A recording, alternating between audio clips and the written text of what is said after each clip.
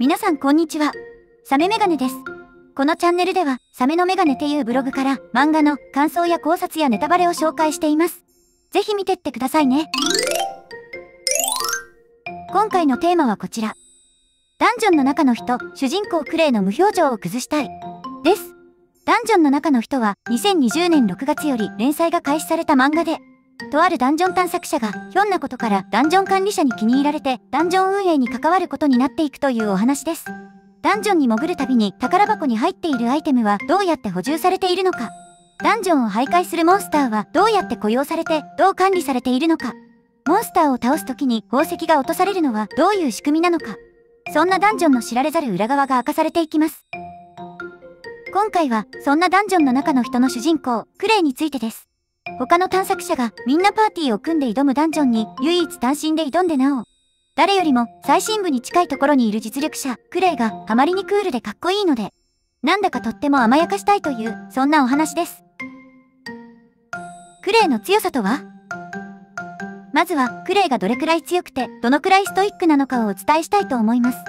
正確な年齢はわからないですけど、まだまだ若い女性なんですよね。なのに、もはやストイックを通り越して修行僧かと思うほど、そんなクレイがどんな人物かを紹介します。遠くの気配を察する。クレイは非常に感覚が敏感です。そもそも職業が戦士や魔法使いではなくシーフです。シーフの役割は近づいてくる敵の気配を事前に察したり、あとは罠の解除だったりが本来の役割ですのでできて当然です。まあ、それにしても目視することなく敵の存在を事前に察する鋭い感覚はクレイならではかもしれませんけれど、敵の存在を敵よりも早く感知できるからこそ戦いの準備ができ、より戦いを自分に有利に進めることができるというわけですね。まるで暗殺者。小石を転がして敵の注意をそらし、その一瞬で自分の有利な間合いに移動します。そして敵の死角から一撃で相手を仕留めます。その様はさながら暗殺者です。敵からすれば何もわからないうちにやられているわけです。恐ろしいですね。魔力で動く。ダンジョンの運営に関わるようになってから得得した技術です。そもそも小柄な女性であるクレイにはどうしたって筋肉の限界があります。そこで魔力を使って体を動かすのだとか。そもそも魔力を使って体を動かすのはとても難しいのだそうです。無理に魔力を使って体を動かすと簡単に体は壊れてしまうらしく。けれども、ダンジョンの運営に携わる中で色々な経験を積み、さらに、それを理解して自身の修練に取り込んで少しずつ得得していきました。とっても努力家なんですよね。英才教育。クレイの父は非常に強いダンジョン探索者だったそうです。単独でダンジョンの最下層地下10階にたどり着いてしまえるほど。ちなみに公式な記録ではこのダンジョンの最高到達回数は地下7階。クレイですらまだ地下9階です。そんな難関ダンジョンを単独で地下10階まで踏破し、フロアボスまで到達した人物です。そして、クレイは、そんな父に幼い頃から非常にきつい修行をつけてもらっていました。どのくらい厳しいかというと、例えば、持っている探検で金属くらい切れるようになれ。最低10時間、理想は20時間以上戦えるようになれ。などなど、クレイ曰く教えるのは下手だったとのことですけれど、その修行の成果が今のクレイだとすると、あながち間違ってはいなかったのだと思います。超勤勉で働き者。とにかくクレイは真面目です。ダンジョンの運営側に回ったことで様々なダンジョンの知識を仕入れることになるのですけれど、それが自分の探索にどう活かせるか、戦いにどう反映させるかを常に考えています。先にお話しした魔力で動くにしたってそうです。魔物の中に入って戦った経験や説明を受けた魔力の仕組みを自分なりに解釈して、すぐに次の戦いにどう活かすかを考えた結果がそれなのです。常に考え、そして修練を怠らない。きっと、クレイはこれからまだまだ強くなるんだろうなと思います。単独。単独で探索者をやるというのはとても大変なことです。複数の敵と相対した場合、すべての敵を倒すまで一瞬たりとも油断はできないですし、ほんの小さなミスにも大きな代償が降りかかります。誰もそのミスをサポートしてはくれないのですからね。ただ、だからこその強さというのもあるのではないでしょうか。何かあった時に誰かが助けてくれる。それはとても素晴らしいことですけれど、反面、何かあった時でも誰かが助けてくれるという甘えにもつながってしまいます。戦い以外でもそうです。ダンジョン途中での休憩の取り方にせよ、探索中の索敵にせよ、はたまた体調管理にせよ、どれ一つとしておろそかにしてはいけないのです。割り切り。クレイの命に対するスタンスはとてもシンプルでドライです。それは魔物に対しても人に対しても同様です。相手が、たとえ誰であろうとも自分以外の存在はみんな敵というか、命のやり取りをする相手ということをとてもよく理解しています。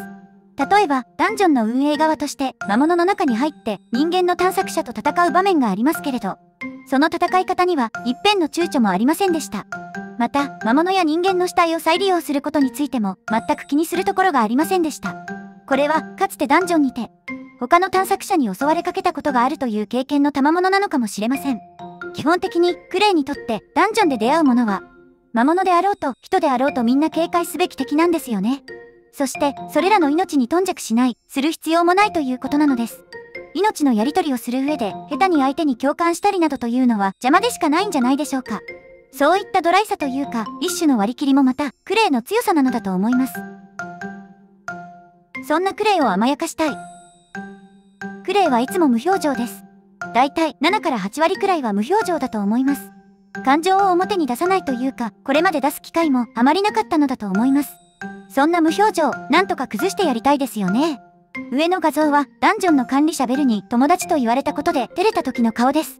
これまで友達はいなかったと言っていますけれど、確かにこれだけストイックで、これだけ他人を信用しないのですから、なかなか友達もできにくかったんでしょうね。けれどもベルは、そんなクレイを共にダンジョンを運営する友達と言ってくれました。嬉しかったのだと思いますよ。身内。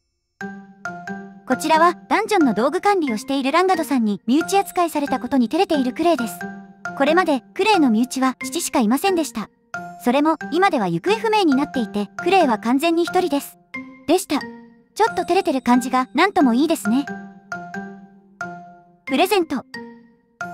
新しい防具をもらった時の顔です。嬉しいけど、自分に似合っているのかな？みたいな顔をしていると思いませんか？もともと自分の価値を低く見積もる傾向にあるクレイなので、誰かにこういう風に扱われると何とも言えない表情になるのです。多分、武器を渡してもこういう顔にはならないのではないでしょうか。防具というかお洋服だったからこその顔だと私は思うんですよね。お帰り。ダンジョン探索から戻ってきてベルにお帰りと言われた時のクレイです。父が行方不明になってからクレイはずっと一人でしたからね。ただいまお帰りを交わす機会なんてずっとなかったのだと思います。けれども今は友達がお帰りと迎えてくれる。そんな状況に思わず目をそらしたくなってしまったのだと思います。同僚。ベルに仕事の同僚扱いされた時の顔です。ダンジョンの運営に携わってクレイはまだまだ貢献できていないと考えていたのかもしれません。会社とかでも入社したばかりだとどうしてもお客様扱いになってしまうところとかありますからね。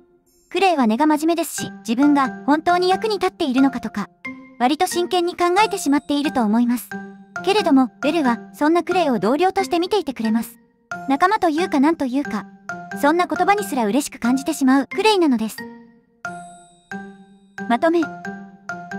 ダンジョンの中の人、パッと見ダンジョンの不思議な仕組みや意外と雑な運営を面白がって見る漫画ですけど、まあ、実際そういうコンセプトではありますけど、そんな中で、密かにどんどん強くなっていくクレイの成長を楽しむ物語でもあります。そして、そんなストイックなクレイがふと見せる可愛い表情をめでる漫画でもあります。今回は主に甘やかされるというか、友達や仲間がいると感じられることで見られる表情に焦点を当てましたけれど、その他にも父親関係でも、ふと表情を和らげることがあるんですよね。ぜひぜひそちらは、皆さんがご自身で買って読んでみてくださいね。